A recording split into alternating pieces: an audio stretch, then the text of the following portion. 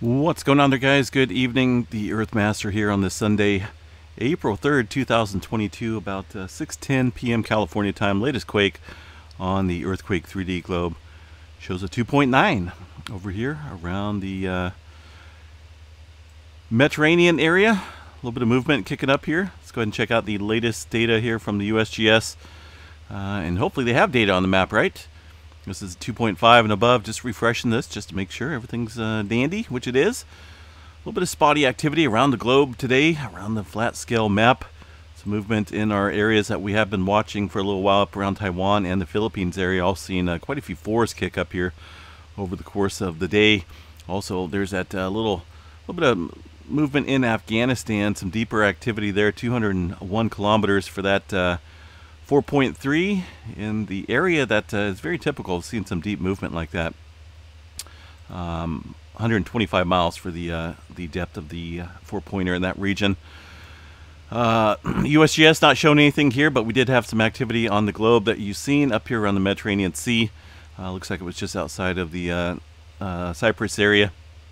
We'll check out the EMSC model here in just a little bit, but looking at the rest of the USGS globe some uh, or map I should say not a globe bright at least not on this one.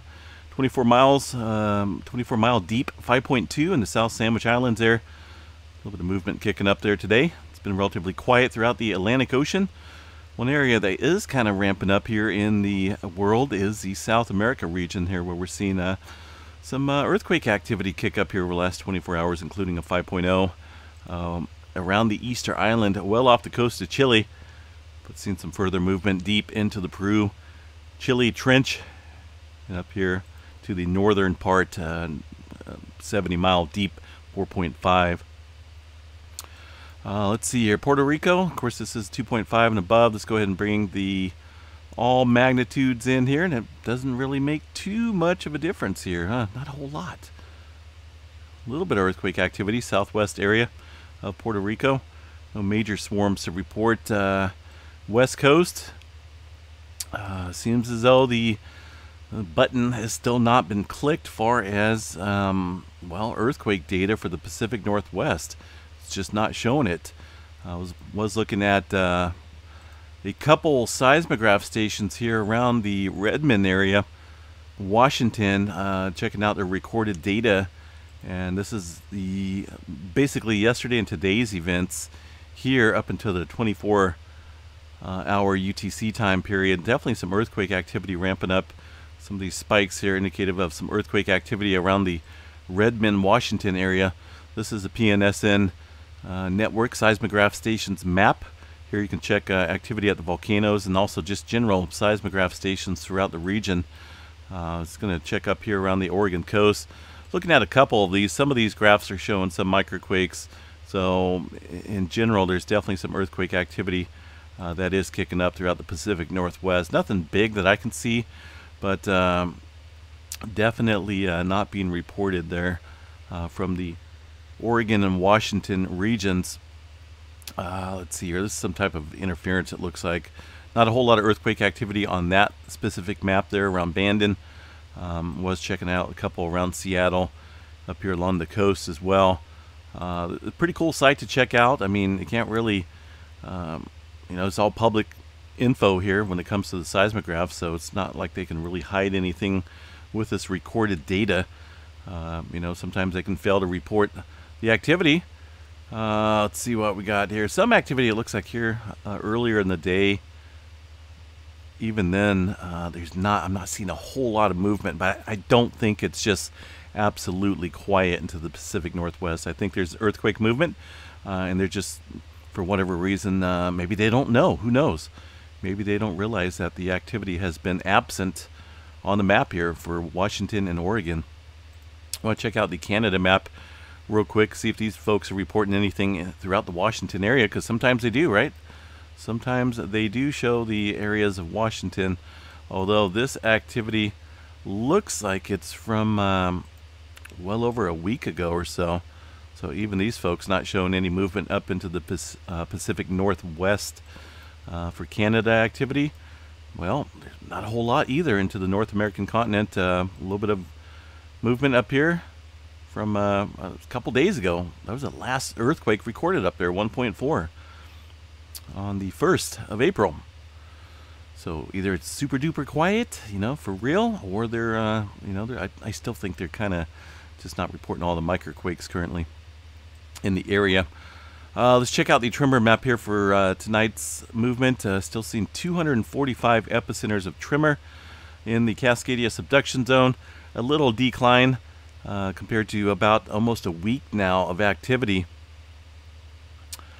And uh, most of that activity was in the latter half of March, where we've seen uh, a couple days there up around the 1,000 tremor count. But today, only 245 epicenters of tremor uh, in the Cascadia. So we'll see how this plays out. Volcanic uh, map here. We'll check out a couple volcanoes throughout the region and see if there's any uh, activity being reported because, well, they're not showing up on the map, that's for sure. So we got to check it ourselves. Some errors there. It looks like some adjustment issues. Yeah, definitely some earthquake activity. This is here throughout the day in the morning and a little bit of activity last night up here as well. See these spikes, red spikes. Those are very small earthquakes, very small, but uh, some activity kicking up there at Mount St. Helens. And see what else we can check out here for uh, for volcanoes. Check out Mount Rainier while we're on it. I'm not going to go through all of these folks, but we're going to see uh, if anything's being reported or not. see if things are happening and not being reported. Same issue there with that graph in the last couple hours. Uh, let's see here. Stand by for just a second. Get this thing to pop up. Maybe any day once again.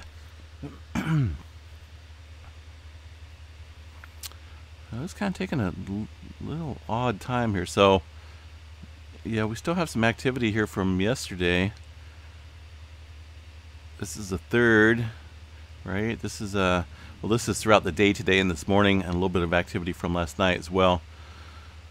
So it's just because of that 24-hour uh, um, UTC time schedule here. So, but there is definitely activity kicking up here. Some earthquakes at uh, Mount Rainier as well. Looks like a little bit more than the Mount Shasta area or the uh, Mount St. Helens area. Hopefully, I didn't say Mount Shasta. Mount Shasta. I don't believe we have too much uh, in the way of movement kicking up there. We'll check out one uh, one other area. We'll check out the Newberry volcano. Of course, if you remember here last month they had a little bit of swarming activity kick up here around the crater area of Newberry volcano. And of course I still cannot access the data around this area. Let me try try a uh, different seismograph station. This one up here hopefully maybe. See North Rim Newberry Oregon go back to the previous day and uh, not a whole lot. Maybe a couple really super duper small ones right there. But uh, overall, that's that's about it. I don't see anything major taking place there at the uh, volcano there at Newberry. So it is what it is. We'll see if these guys, um, you know, put out uh, any earthquakes tomorrow. Maybe they were updating their systems here in the Pacific Northwest. So we'll see. Uh, California West Coast movement up around Nevada as well, and through the Ridgecrest region. Not looking at any major swarmings to report along the west coast. Um, in fact, seriously, looks just a little on the quiet side along the west coast. New Mexico out here around the Rio Grande. Seeing a couple threes kick up here over the course of the day. 7.3 miles and 4.3 miles there along that area of New Mexico. Pecos, Texas has remained quiet and some activity outside of El Reno um, with some uh, oil pumping operations out there. New Madrid zone looks pretty quiet. Man, I just uh, a little bit of activity out here in the Loihi Seamount. You guys see that? Right here, looking at a little swarm of movement. Looks like about uh, seven earthquakes, all about five miles or so, seven miles below the surface. Very consistent there with uh, volcanic activity. 2.8 appears to be the highest in that little swarm of activity there just off the coast. Last one was, uh, looks like a couple hours ago, so we'll see if this thing kicks back up or not. But uh, yeah, it gets swarms, it comes and goes. This one here is just a little bitty one at the moment, but this thing could uh, actually turn into a major swarm. You never know. Uh, volcanic activity can definitely uh, kick up in a blink of an eye. Let's see what else we got. Not a whole, not a whole lot going on throughout the Alaska area as far as any major events go. It's all very typical activity in the subduction zone up there, and uh, no major no major activity to report along the Aleutian Trench. There's the Taiwan activity. A couple earthquakes here northeast of Taiwan along the Philippine Plate, western edge, uh, around the East China Sea, and some movement down here south into the Philippines Trench, Philippine Trench. Couple fives there kicking up here. Although most of this activity earlier this morning and late last night, so kind of just on this, kind of on a standstill at the moment here uh, for earthquake activity. Uh, as far as any major adjustment goes. Uh, Yellowstone National Park, pretty quiet, not seeing any major swarms.